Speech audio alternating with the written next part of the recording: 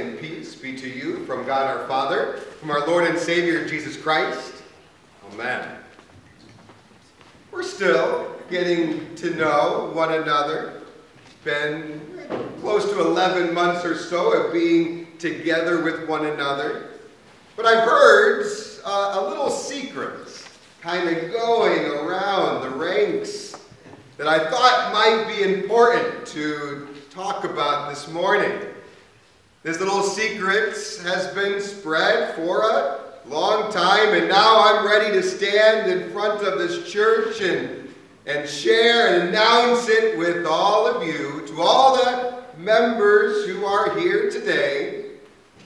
You can even share it, if you'd like, with other members who aren't here this morning. But it's important that I get it out so that I can defend all the baggage that comes with this little secrets. So here it goes. I am a Chicago Cubs fan. I know. I am now living in Mets and Yankees territory. But you all have to understand a few very important things. First of all, I'm a Cub fan and it is in my blood to be a Cubs fan. I remember my grandpa sitting me on his knee and watching many Cubs games on WGN growing up. I remember watching games at Wrigley Field itself. Now, I know that some of you Mets or Yankees fans will say that my grandpa was putting some kind of weird abuse upon me by forcing me to watch these at a young age, but that's not the case. Everything was great. As a teenager, I even visited the mecca of all sports stadiums many times as I watched live Cubs games.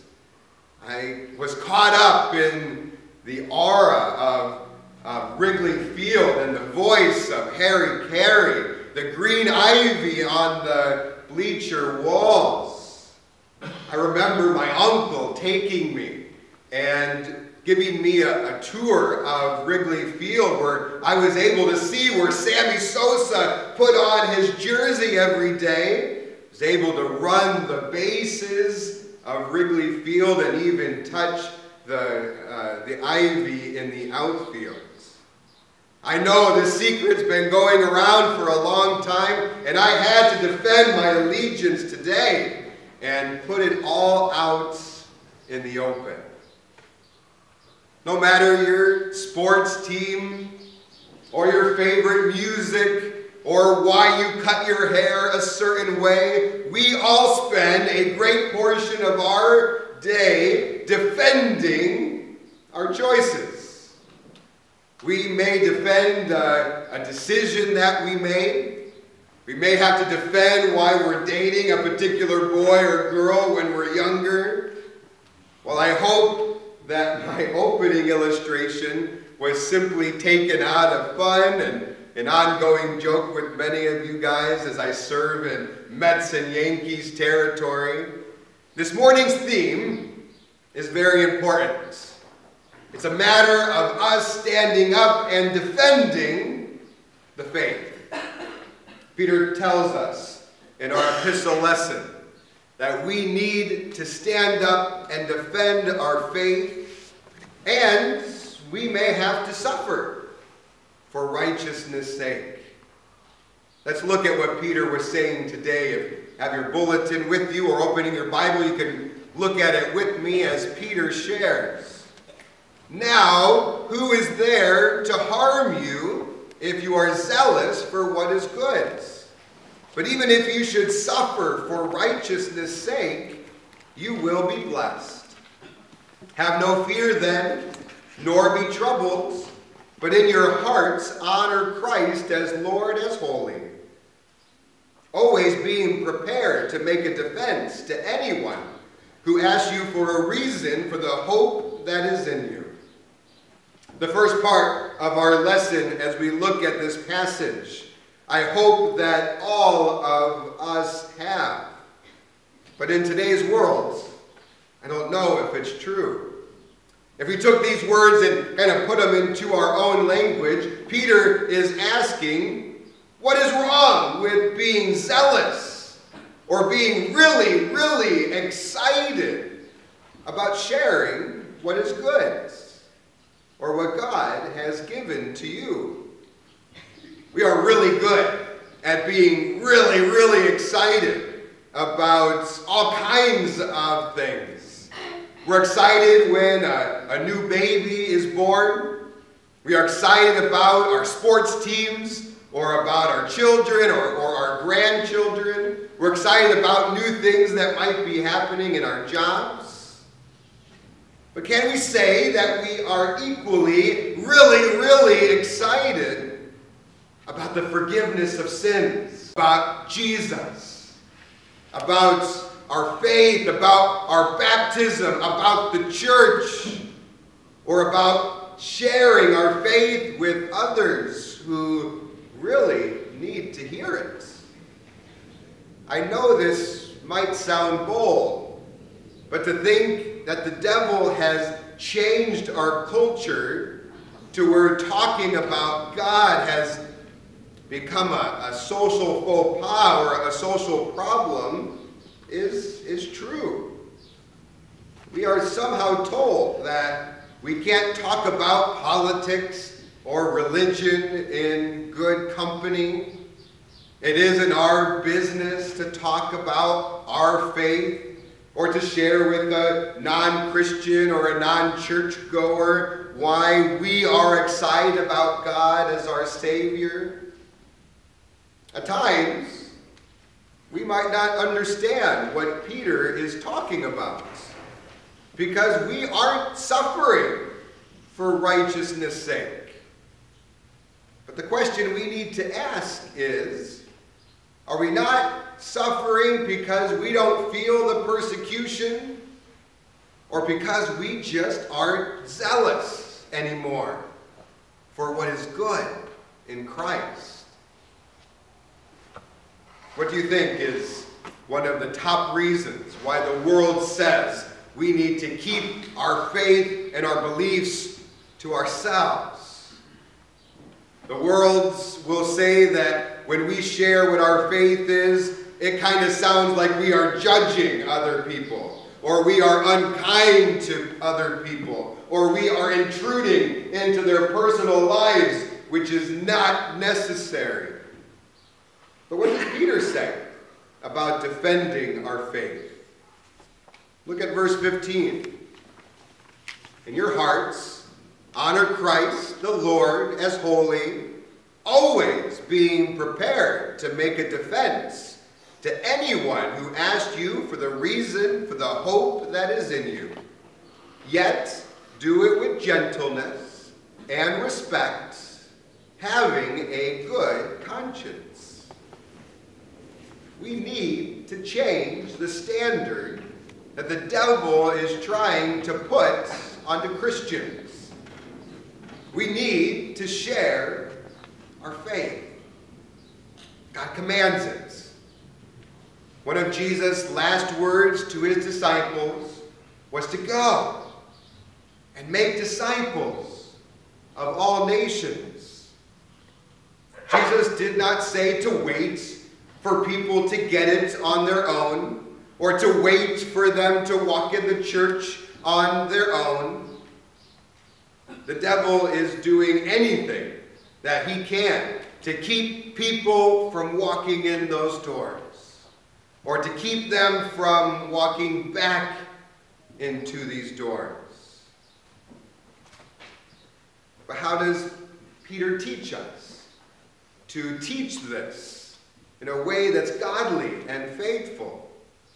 He says not to be rude, not to be judging, but that also doesn't mean that we are to ignore it and to change the subject to who won last night's game, Peter tells us to be prepared. And so, how do we prepare ourselves? Peter says to be gentle, to be respectful in your confession or in your defense.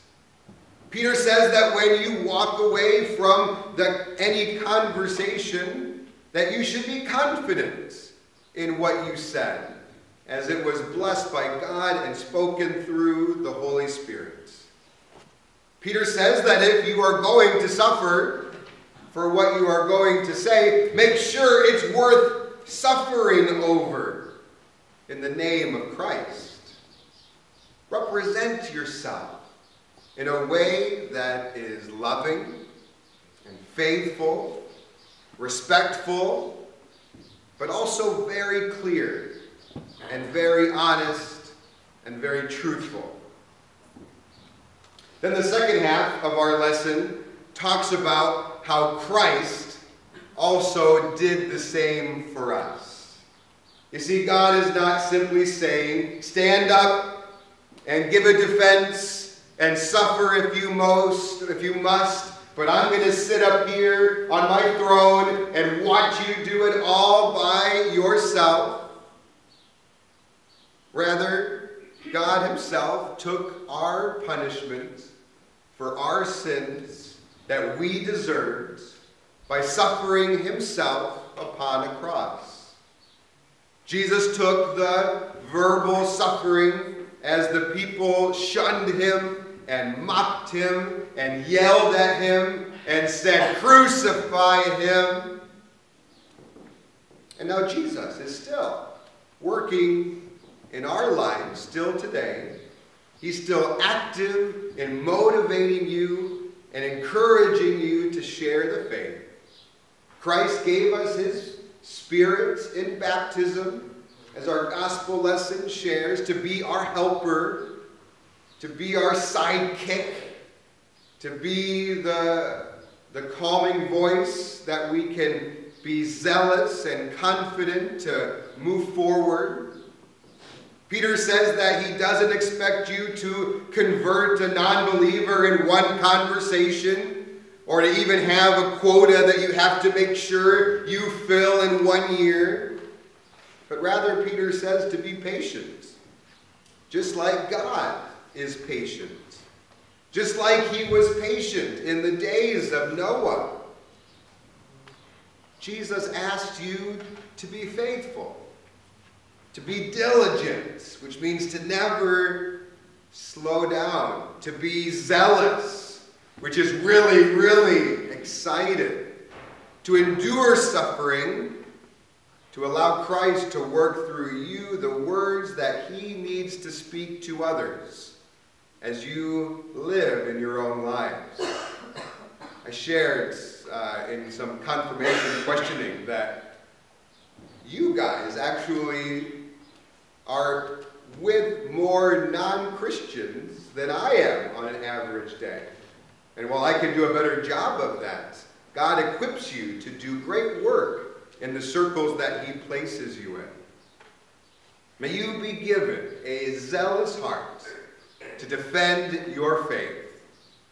May you be given confidence to know that when you are rejected, they're not rejecting you, but Christ. May we pray constantly, every single day, about those who do not yet have a faith, a saving knowledge of Jesus Christ. May you rejoice in the forgiveness that you have been given, the new life that you have. May we rejoice that Christ suffered for us, that we may have new life. And if you're interested, Chicago Cubs are always looking for some new fans. we have some applications out. We'll even take some Mets and Yankees fans as well. To him be the glory. Amen. And now may that peace, which passes all understanding, keep your hearts and your minds on the prize that is Jesus Christ our Lord. We rise